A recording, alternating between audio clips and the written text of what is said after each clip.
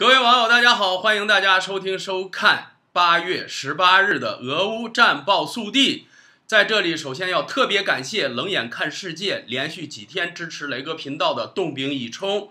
QI 长期支持难民的老杨杨宇、喝乌昂黄五二八八这几位网友呢，给雷哥频道打赏，非常的感谢。还有感谢过去啊和现在给雷哥打赏的好朋友，谢谢您对难民和雷哥的。大力的支持，在这里，雷哥祝您事业顺利，心想事成，身体健康，阖家团聚。接下来进入到我们今天的节目当中来，俄乌军事冲突第一百七十五天，来看一下双方的一个战损情况。首先呢，是来自俄方的战损数据呢，是来自乌克兰国防部，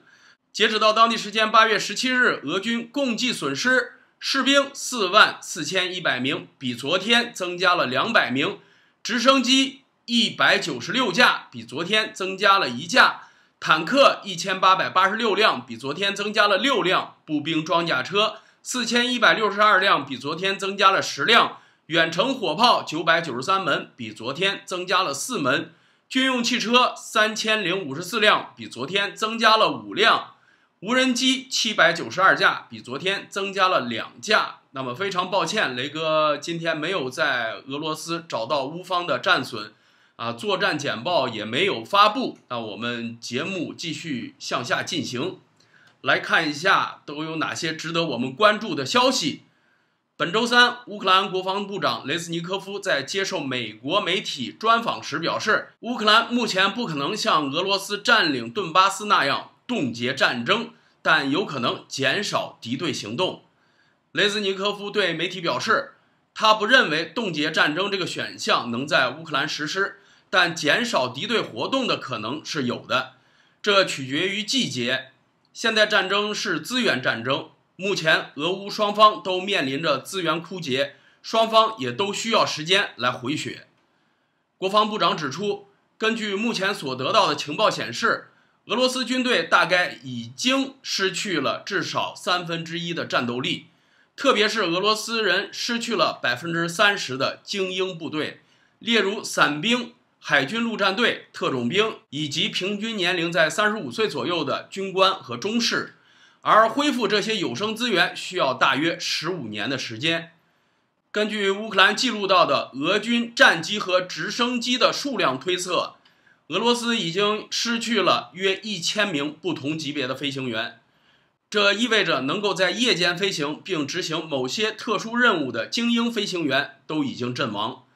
而这是很难在短时间内恢复的有生力量。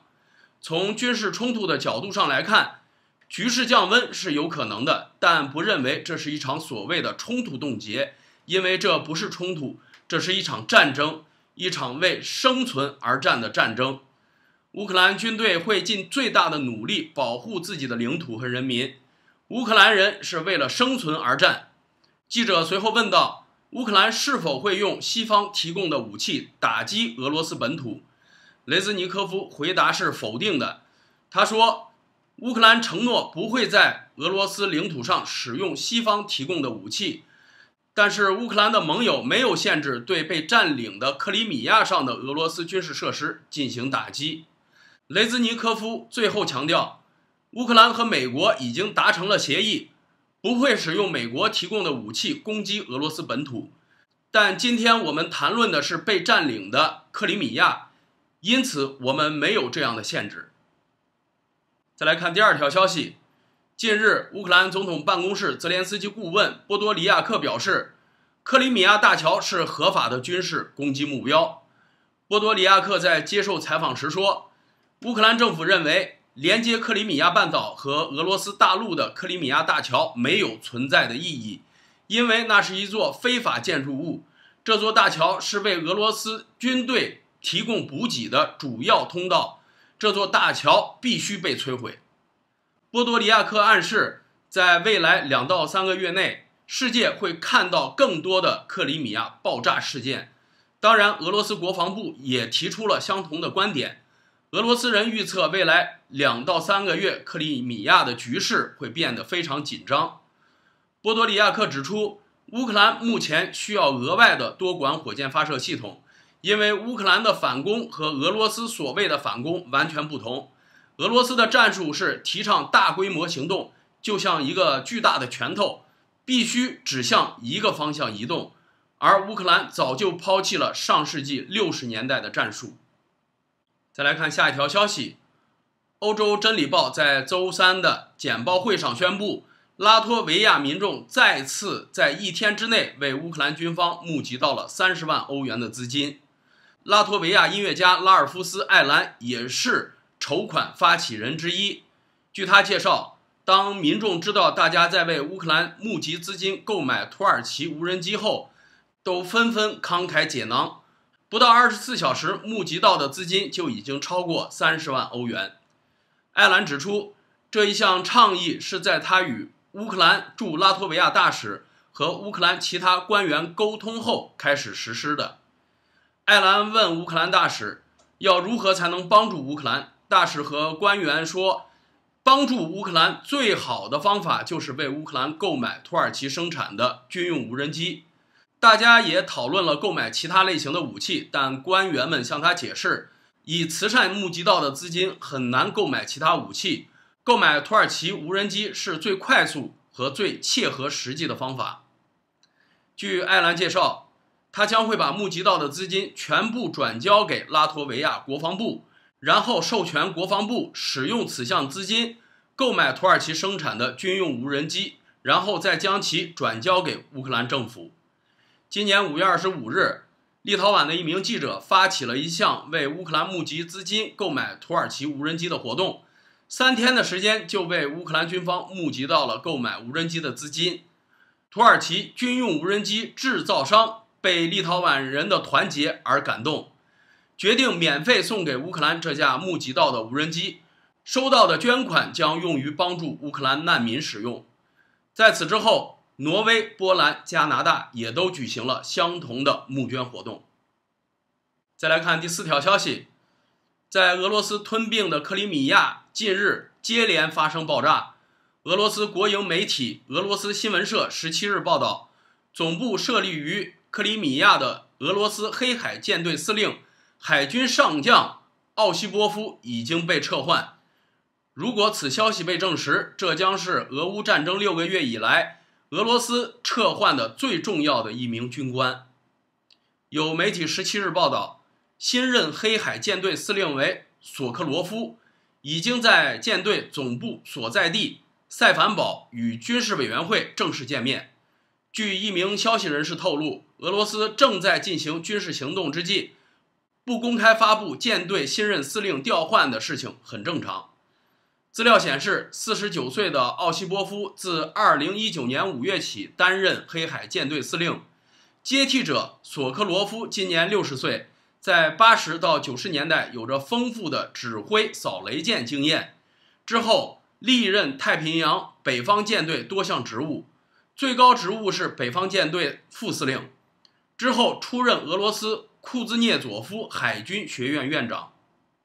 在俄罗斯历史上有着重要地位的黑海舰队，代表俄罗斯海军的光荣，但在这次俄乌战争中表现却差强人意。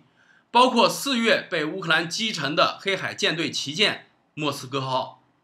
上周，临近舰队总部的克里米亚西南部萨奇空军基地发生一连串的爆炸，损失多架战斗机。紧接着，十六日，克里米亚北部的一个军事基地又发生弹药库爆炸，俄罗斯宣称是被人破坏。虽然离战胜俄罗斯来说，乌克兰还有很长的路要走，克里米亚被莫斯科认为是一处安全的后方军事要塞，可接连遭到攻击，也给俄军造成了不小的麻烦。以上种种战果，对于乌克兰来说，不仅提升了部队士气。某种意义上也算是一场重大胜利。再来看最后一条消息，当地时间八月十七日，乌克兰总统泽连斯基发布了晚间例行讲话。据泽连斯基透露，联合国秘书长古特雷斯已于十七日到达乌克兰西部城市利沃夫。泽连斯基表示，乌克兰已经准备好适当控制战斗节奏，以确保国际原子能机构人员可以被迅速且安全的。送往扎布罗热核电厂。泽连斯基在讲话中提到，乌克兰的外交官和相关科技人员一直和国际原子能机构保持着联系。现在他们已经到达乌克兰，并很快将把这些相关人员送到扎布罗热核电厂。泽连斯基强调，只有核电厂以及周边的局势保持可控和透明，才能保证乌克兰和周边地区国家的安全。俄罗斯联邦武装部队必须要撤出核电厂，并从核电厂内把那些危险的军事武器弹药全部清除，这样才能保证不会发生核风险。好了，各位朋友，以上呢就是关于双方的消息。那么接下来进入到俄乌双方的实时战报。俄乌军事冲突第一百七十五天，以下消息来自乌克兰国防部：在哈尔科夫方向，俄军地面部队在莱布亚市、巴扎利夫卡两个地区的突击行动均以失败告终，随后俄军撤退。在斯拉维扬斯克方向，俄军地面部队计划向新梅特里夫卡。马扎尼夫卡两个方向进行推进，但遭到乌军顽强抵抗，俄军计划失败后撤退。在克拉马托尔斯克方向，俄军在善维斯勒地区的进攻以失败告终，随后撤回到了原来的阵地。在巴赫穆特方向，俄地面部队在比罗格里夫卡、索莱达尔、巴赫穆兹克、科德玛、扎伊采夫。马约尔斯克六个方向的进攻均以失败告终，俄军被迫撤退。在阿夫迪夫卡方向，俄地面部队在奥佩特尼的突击行动取得了部分成功。在扎布罗热方向，俄军炮兵对两军军事接触线上的乌军阵地进行了炮击。此外，俄地面部队在舍普琴科方向的进攻也以失败告终，俄军随即撤退。但在新米哈伊夫卡方向的进攻取得了部分成功。在南部战区，俄炮兵对两军军事接触线进行了炮击，并重新集结力量，阻止乌军继续向前推进。俄空军在比罗格基夫卡、罗佐沃、比拉、波克罗夫斯基地区进行了空袭。此外，俄军地面部队在彼得罗夫斯克的进攻遭到乌军强烈反击。俄军随后撤退。好了，各位朋友，以上呢就是雷哥为您分享的所有的信息。那么，喜欢雷哥频道的好朋友还可以点赞、关注、加转发，让更多的人了解到战场上的实时战报。在这里，雷哥感谢您啊！节目到这里告一段落，还是希望您能够照顾好您自己和您的家人。让我们明天不见不散，拜拜。